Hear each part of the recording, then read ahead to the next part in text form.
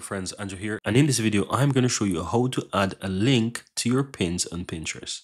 Now you can do this two ways whether it's a already created pin or it's a new pin you can always add links and I'm going to show you quickly how you do both.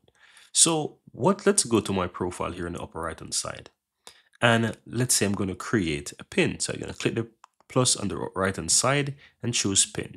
Here you'll be able to upload your image and let me just quickly just choose something randomly and once you select that you have the option now to basically fill in all the details. And right here you have a link. So you can easily fill the link here and you'll be able to add a link to your post.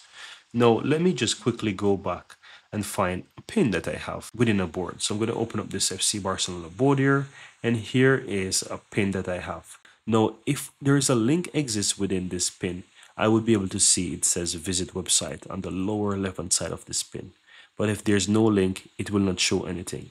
You can quickly edit the pin by clicking clicking the pencil.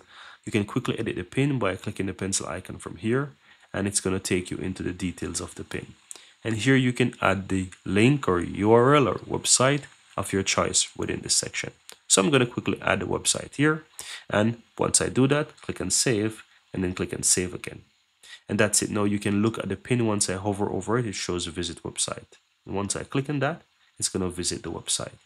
And that's it. So you can also click on the pin itself and it's going to take you over to the full details of the pin.